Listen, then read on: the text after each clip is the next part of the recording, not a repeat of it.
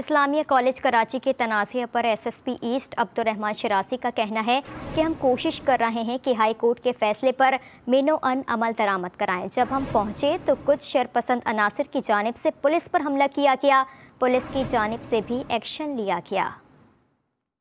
जज का ऑर्डर है, ये सब कुछ सर्कुलेट हुआ हुआ है। जिसके अंदर उन्होंने बड़ा क्लियरली आपको बताया कि हेड बैलफ अपॉइंट किया था और उनको डायरेक्शन दी थी कि आप इनको प्लान्टिव को, आप इसको हैंड ओवर करें और अगर नहीं करते तो उसको सील करें। ऑनरेबल हाई कोर्ट के हेड बैलफ आए तो यहाँ पर जब बातचीत हो रही थी तो कुछ शहर पसंद नासिर ने इस पर पथराव किया, जिस पे पुलिस को सिर्फ़ करने के लिए, उनको डिस्पर्स करने के लिए थोड़ा सा उनको जो है वो उनको डिस्पर्स किया।